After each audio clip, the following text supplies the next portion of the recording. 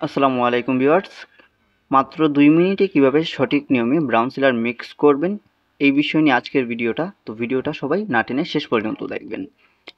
তো সর্বপ্রথমেই আমরা brown সিলারটা mix করব এবং ব্রাউন সিলারের সাথে কি কি লাগবে সেটা দেখব। সর্বপ্রথমে আমরা নিব ব্রাউন সিলার। ব্রাউন সিলারের পরিমাণ নিব আমরা এক লিটার। আপনারা চাইলে হাফ লিটার মিক্স করতে পারেন কিংবা আরও বেশি মিক্স করতে পারেন যদি আপনাদের ফার্নিচার বেশি হয়। সেক্ষেত্রে বেশি মিক্স করবেন, কম হলে। কম মিক্স করবেন। এক লিটার ব্রাউন সিলার নিয়ে নিব, আর ব্রাউন সিলারটা মিক্স করার জন্য একটা এরকম পাত্র নিয়ে নিব, যেটার মধ্যে আমরা ব্রাউন সিলারটা মিক্স করতে পারি। তারপর আমরা যেটা দিব, সেটা হলো হার্ডনার তো এক লিটার ব্রাউন সিলারের সাথে আমরা হার্ডনার কতটুকু দিব? হার্ডনারের পরিমাণটা দিতে হবে আমাদের হাফ লিটার পরিমাণ।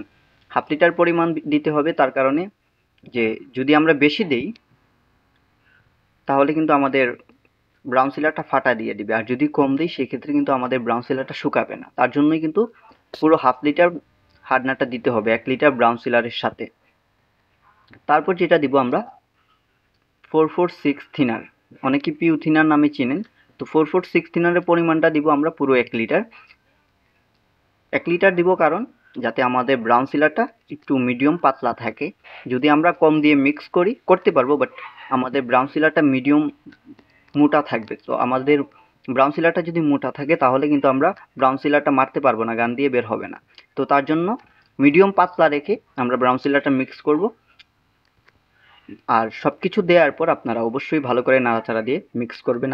আপনি যদি আমার চ্যানেলের নতুন দর্শক হয়ে থাকেন, অবশ্যই আমার চ্যানেলটিকে সাবস্ক্রাইব করে পাশে থাকা বেল আইকনটি প্রেস করে দিবেন এবং নোটিফিকেশনটা অল করে রাখবেন, যাতে আপনি আমার প্রত্যেকটা নতুন ভিডিওর সবার আগে দেখতে পারেন এবং সবার আগে লাইক কমেন্ট শেয়ার করতে পারেন।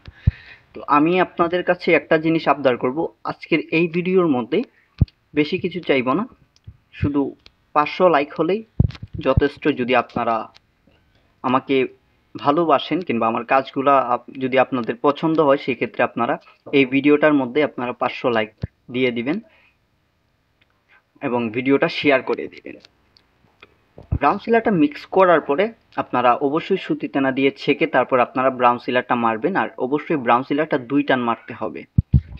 আর অনেকেই বলতে পারে যে, ভাই ব্রাউন সিলারের উপর আপনি কেন ব্রাউন সিলার মারতেছেন? আসলে ভাই, এটা কিন্তু ব্রাউন সিলারের উপর না।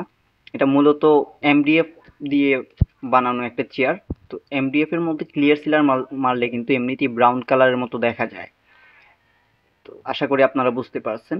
এই যে দেখেন, আমি যে ব্রাউন সিলারটা মারতেছি, এটা কিন্তু ক্লিয়ারভাবে বোঝা যাচ্ছে। আর ব্রাউন সিলারটা মারতে হবে মিডিয়াম হাওয়া দিয়ে। বেশি হাওয়া দিয়ে কিন্তু ব্রাউন সিলার মারতে পারবেন না। ব্রাউন সিলারটা দাস দাস হয়ে যাবে। অ্যাকুরেটভাবে ব্রাউন সিলারটা মারতে পারবেন না। তো তার জন্য অবশ্যই মিডিয়াম হাওয়া দিয়ে আপনারা ব্রাউন সিলারটা মারবেন। আর আজকের এই ভিডিওটা আপনাদের কাছে কেমন লাগল সেটা অবশ্যই কমেন্টে জানাবেন। কে কোথায় থেকে দেখতেছেন সেটাও জানাবেন। আর ভিডিওটা দয়া করে শেয়ার করে দিবেন। কারণ আপনার একটা শেয়ারে আরও দশজন দেখতে পারবে, শিখতে পারবে। আমি চাই আপনারা আমার এই ভিডিওগুলো দেখে কাজ শিখেন। কাজ বুঝেন। তো আমি যেরকমভাবে আপনাদেরকে বোঝাচ্ছি কিংবা বোঝাই, আমার মনে হয় না কেউ আপনাদেরকে এরকমভাবে বোঝাবে। এটা আমি আমার নিজের প্রশংসা নিজে করতেছি না বাট যেটা সত্য, আমি আমার কাছে যেটা মনে হয়েছে আমি সেটা বলছি। বাকিটা আপনারা কমেন্ট করে জানাবেন। আমার থেকে ভালো কেউ বোঝায় কি বোঝায় না। তো ভালো থাকবেন সবাই, দেখা হবে নতুন আরেকটা ভিডিওতে আল্লাহ হাফেজ।